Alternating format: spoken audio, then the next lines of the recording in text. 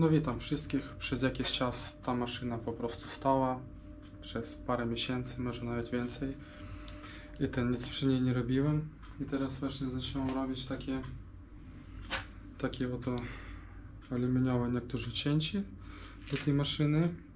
I tak sobie pomyślałem, że zacznę ją pomału już składać. No bo tam widać stoi taki profil.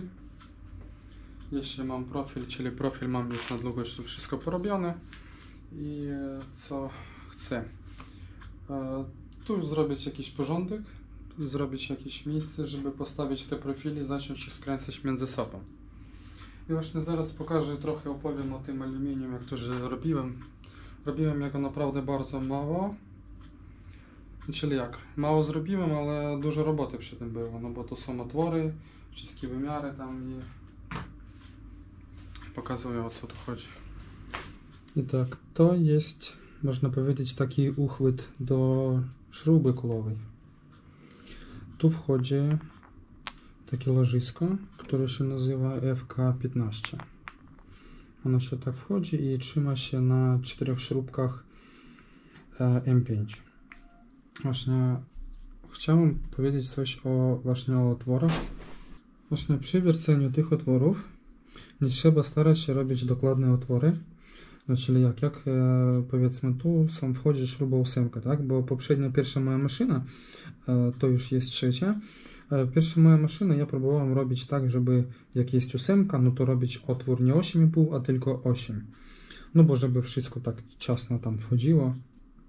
Tak ciasno było. Nie trzeba takiego robić. Trzeba robić luzę, dlatego żeby można było później jego ustawić, bo, bo coś trafi na pewno, żeby trzeba było coś ustawić, tak?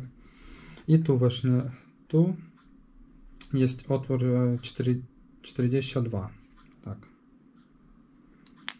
albo 40, a prawdopodobnie 40, tak 40 to jest otwór i on jest zrobiony specjalnie na 32, dlatego żeby minimalnie to się można było jakoś ustawić, ono się prawie nie rusza. Tu widać, o. ale to jakiś minimalny luz na pewno musi być. Nie można robić tak.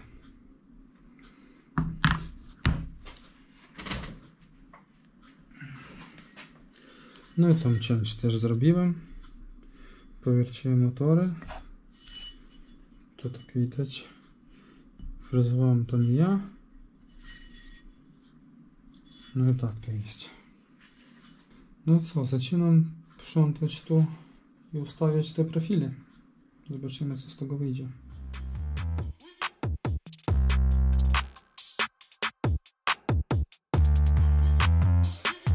Tylko chciałem powiedzieć dla tych osób, którzy nie oglądali ten proces od samego początku, z góry się pojawi link do wstępnego filmu.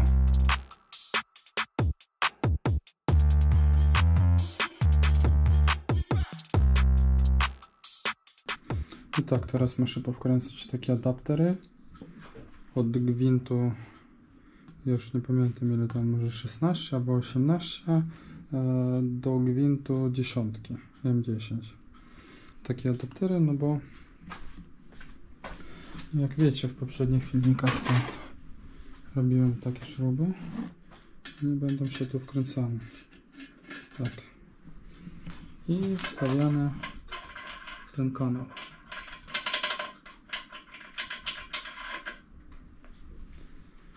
to teraz muszę wkręcić na ten profil i na tamten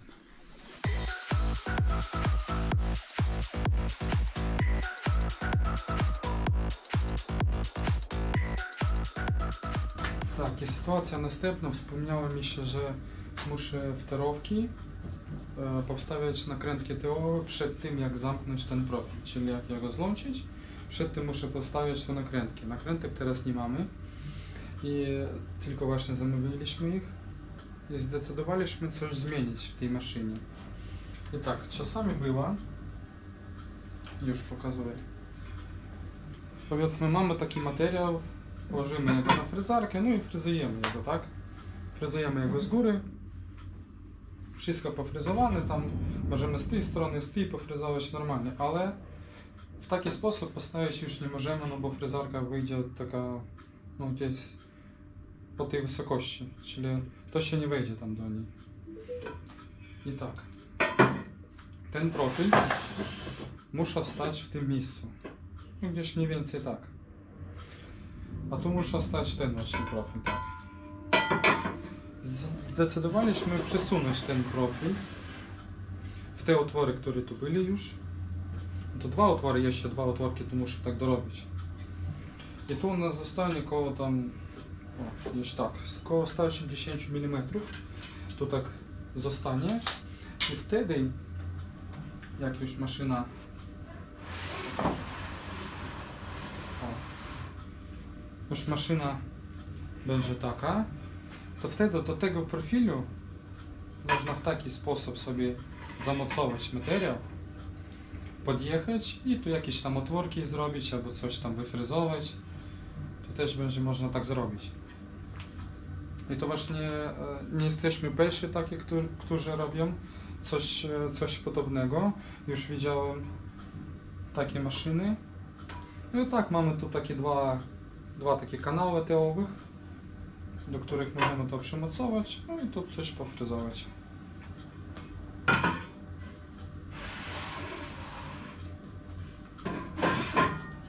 Właśnie na razie przerywam składanie tej maszyny i zaczynam dalej robić e, ten aluminium, który jeszcze został, bo tam jej roboty jeszcze bardzo dużo zostało. Już pokazuję. Zacząłem robić to, co na tym rysunku. Mam takie dwie sztuczki zrobić.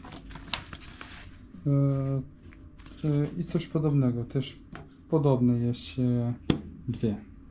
Ale oni różnią się wysokością, szerokością tam. I tak. Wszystko na zewnątrz. Jak to widać, na zewnątrz wszystko jest zrobione. Porobiłem tu otwory. Jeszcze gwintów nie zrobiłem. Tu taki wstępny otwór też zrobiłem. No bo to ten, ten duży, 37 mm ma. Tak, teraz robię te 6 otworów. Oni jest na promieniu 23,5 mm. To jest e, szóstki M6.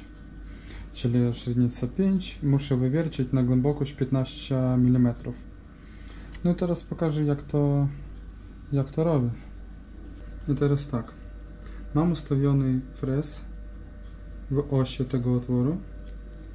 Dokładnie tu. I muszę teraz na, na skali u siebie ustawić 8 otworów na promieniu 23,5 mm. A 8 dlatego, że ona nie może ustawić w taki sposób, że tu 3 zrobić i tam 3 zrobić. Tu niby musimy zrobić tak, że niby są otwory, ale naprawdę nie robimy ich. Musimy zrobić tak. Robimy tu pierwszy otwór, później drugi, trzeci i czwarty. Później wracamy się tu, robimy ten i ten. Dlaczego tak? No bo pierwszy otwór robimy tu, no to na pewno tam, bo, bo, a, bo tu, tu nie ma różnicy. Właśnie robimy pierwszy otwór i żeby po dwóch osiach nie jechać tu, pojedziemy tylko po jednej osi do tego otworu. No możemy albo do tego, ale no do tego po, po prostu lepiej jest. Później następnie pojedziemy tylko po jednej osi do tego otworu, po jednej osi do tego otworu, później zmieniamy dwie osi, x, y idziemy do tego i później tylko po jednej osi idziemy do tego otworu. Czyli tak no, wychodzi dużo szybciej. I tak, teraz sobie ustawiamy otwory. Naciskamy tak, wpisujemy promień 23,5 Enter i później naciskamy 8 otworów i to dalej wszystko tylko Enter. I tak, pierwszy otwór 23,5 mm on jest w tym miejscu. Tu, dokładnie. To musimy pojechać do drugiego otworu. Naciskamy 2 i pokazuje drugi otwór. I idziemy.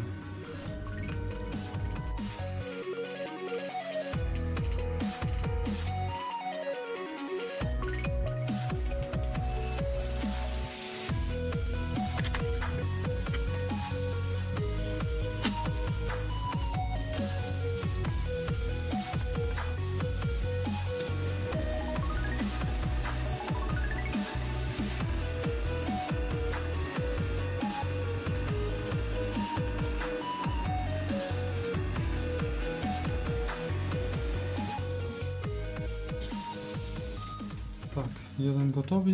Idziemy na drugi. Musimy wybrać czwarty otwór.